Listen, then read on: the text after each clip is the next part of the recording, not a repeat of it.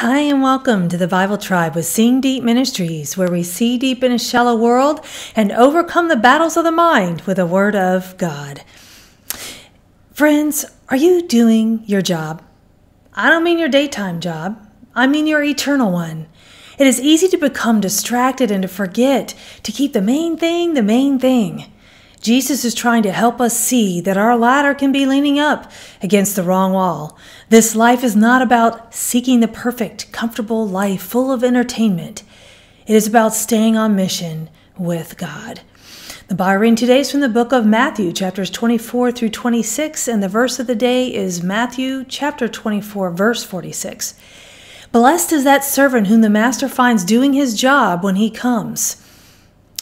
Providing a little context here, Jesus is telling his disciples to make sure they are not misled and describes to them what the signs will be of his return.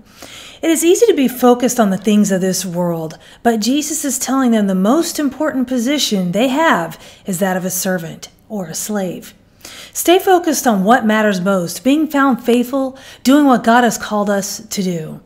And the key word I chose today is the word doulos and it means servant. And this word is translated as slave, servant, one who gives himself up to another's will, those whose service is used by Christ in extending and advancing his cause among men. I think if we would remember this word and not stray from our chief purpose to serve the one who made us, we would stay on mission and not get involved in civilian affairs, all the little stuff that trips us up. The thought of the day is we stay on mission when we reflect on Christ's vision. And the application is don't let yourself be lulled or drawn in by the world. God's word is our compass. You guys go with God and His precious word. Tune in tomorrow as we head back into the book of Romans.